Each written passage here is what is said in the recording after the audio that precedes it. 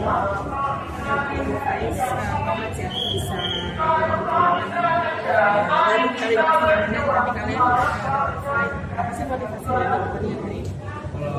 untuk motivasi saya sendiri untuk kita berdua sendiri kan untuk WJC tahun lalu uh, ganda putra di Bergu itu selalu menang ya. Jadi kita ingin menjaga terus kemenangan itu.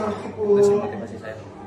Kalau tadi di lapangan uh, kesulitannya seperti apa sampai menang uh, rubber game? Uh, mungkin kesulitannya ada di set kedua ya. Kita um, pas set pertama kita menerapkan polanya dan itu bisa, tapi di set kedua mereka mengganti polanya dan kita kaget tertekan tertekan balik.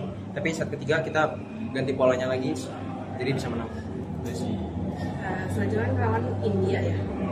Indonesia lawan India di babak perempat final gimana kira-kira peluangnya dan apa sih yang perlu diwaspadai dari palingan saya sih kurang tahu ya mereka uh, anak mereka seperti apa. Jadi palingan kita siapin diri kita sendiri aja sih. Jadi besok kita main kita udah siap fight. Kalau dari hari ini, Faiz, menurut kamu apa yang masih perlu dievaluasi? Uh, buat awal-awal poin aja sih start-startnya terus terlalu jelek ya. Pertama tadi ketika di satu bisa bisa menang. Kedua buat kalau set kedua mau maunya sih mau menang startnya dulu tapi kedua bisa ketiga kita coba akhirnya bisa